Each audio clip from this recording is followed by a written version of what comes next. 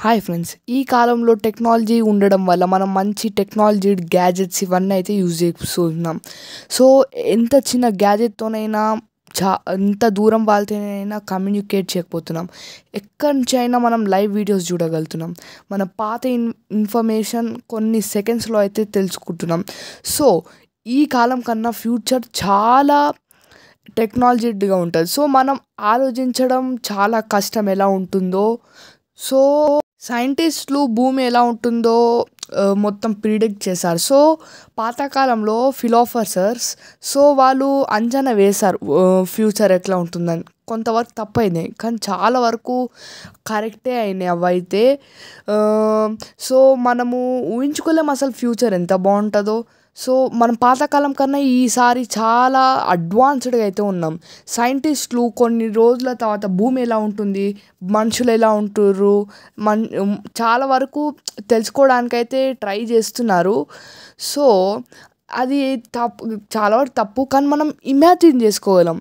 భూమి ఒక thousand years తర్వాత ఎలా ఉంటుంది ఎంత టెక్నాలజీ ఉంటుంది. Two thousand twenty three. So చాలా వరకు బాగుంటుంది. సో ఈ వీడియోలో అవన్నీ అయితే కనుక్కోకపోతున్నాం. ఫస్ట్ ఇల్లుల గురించి పాతకాలంలో సో మనుషులైతే ఇప్పుడు మనం బతికే ఇల్లులో కన్నా ఫ్యూచర్లో చాలా అడ్వాన్స్ టెక్నాలజీ సో మనం అయిపోయి అన్నిట్లో చాలా మార్పు అయితే క్యాసల్స్ విల్లాస్ ఇవన్నీ కట్టుకోవడం అయితే స్టార్ట్ చేస్తారు. సో వాళ్ళని మనము ఈ కా ఈ కాలంకి తీసుకొస్తే వాళ్ళు పక్క షాక్ అవ్వాల్సిందే పాతకాలం వాళ్ళని. ఇదేంటి అని చాలా సర్ప్రైజ్ అయిపోతారు. సో మనం కూడా ఫ్యూచర్ తీసుకుపోయారనుకో మనం కూడా సర్ప్రైజ్ అవ్వాల్సిందే. దాంట్లో ఏం లేదు. ఎందుకంటే ఈ క్లైమేట్ ఫ్యూచర్ ఏంద్రా బాబు అని అనుకొని మనమైతే పక్కా షాక్ అవుతాము సో దుబాయ్లోని దుబాయ్లోని పామ్ ఐలాండ్ అయితే దాని మీద అయితే వాటర్లో హౌస్ కట్టారు పైన. సో ఫ్యూచర్లో మనకి అండర్ గ్రౌండ్ వాటర్ లోపల కూడా హౌస్ కట్టే టెక్నాలజీ వస్తుందేమో మనుషులు దాంట్లో బతకగలరేమో అని రీసెర్చ్ చేస్తున్నారు. స్నోలో మార్స్లో ఈ- వేరే ప్లానెట్స్లో అన్నిట్లో బతకడానికైతే ఇప్పుడు సైంటిస్ట్ ట్రై చేస్తున్నారు. కానీ మన వల్ల కావట్లేదు యునైటెడ్ స్టేట్స్ నెక్స్ట్ స్పేక్స్ స్పేస్ ఎక్స్ ఏజెన్సీస్ ఇవన్నీ మన నైబరింగ్ ప్లానెట్స్లో మనం బతకగలమా? ఇవన్నీ రీసెర్చ్ చేస్తున్నారు బట్ వీ ఖాన్ కొన్ని రోజులైనాక మనము వెళ్ళొచ్చు. అంటే ఫ్యూచర్లో వీళ్ళంతా ఇవి కనుక్కొని నైబరింగ్ ప్లానెట్స్ గురించి వాటర్ ఉన్నాయో లేదో రీసెర్చ్ చేసి వాళ్ళు అక్కడ ఇల్లులు పెద్ద పెద్ద ఇల్లులు కట్టుకొని ఫ్యూచర్లో ఉండొచ్చు. The life expand so seventeen eighteens గురించి మాట్లాడుకుంటే వాళ్ళ life span minimum thirty five years వరకు అప్పటి వరకు వాళ్ళు డెత్ అయిపోతారు. చిన్నప్పుడే చాలా డెత్ అవుతుంది సో పెద్ద ఎత్తు రోగాలు వచ్చి చనిపోవడం స్టార్ట్ అయ్యారు. సో టూ థౌజండ్ ట్వంటీ వన్లో ఎయిటీ ఇయర్స్ వరకు అయితే బతకగలుగుతారు ఫ్యామిలీస్.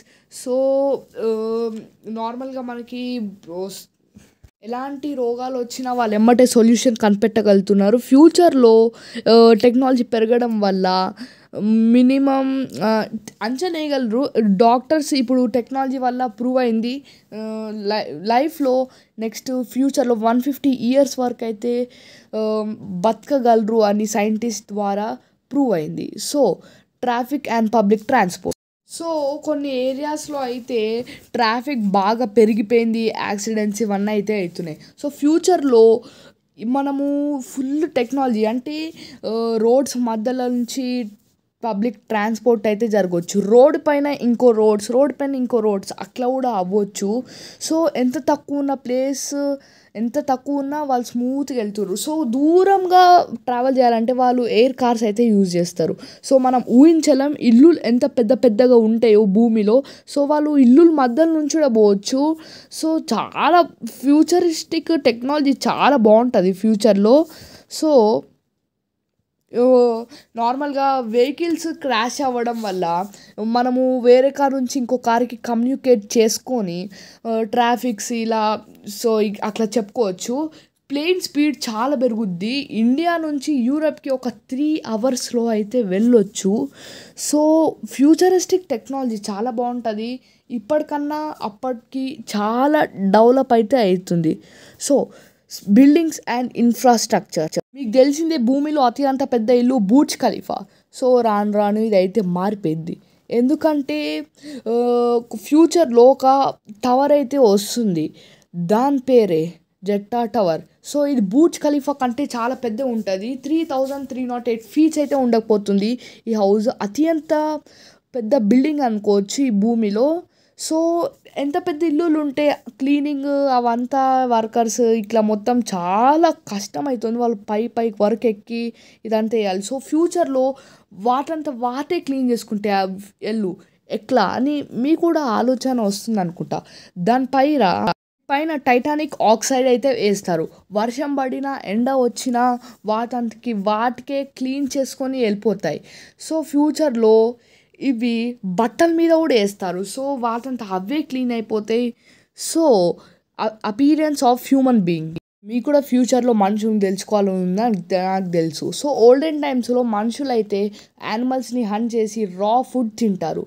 సో మనము ఫైర్ని కనుక్కొని ఇంకా మనం పచ్చి పచ్చి మాంసం తినేయడం ఆపేసి కొత్త కొత్త ఫుడ్ ఇవన్నీ చేస్తున్నాం. సో పాతకాలం కన్నా మన ఫేస్ చాలా చిన్నగా దౌడలు చాలా తక్కువ అయినాయి సో ఫ్యూచర్లో మనకంటే ఇంకా తక్కువ దౌడలు అట్లా రావచ్చు. సో వాళ్ళు బక్కగా థిన్గా సో ఇట్లా కూడా ఉండొచ్చు. మనకంటే బక్కగా. సో వాళ్ళు కలర్ మారొచ్చు.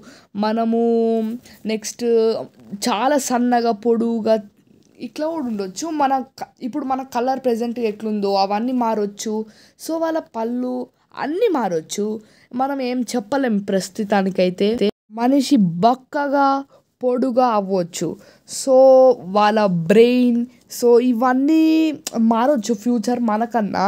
సో మనకి తెలీదు వాళ్ళు ఎలా మారుతారో బ్రెయిన్ ఇవన్నీ అయితే మారిపోవచ్చు. సో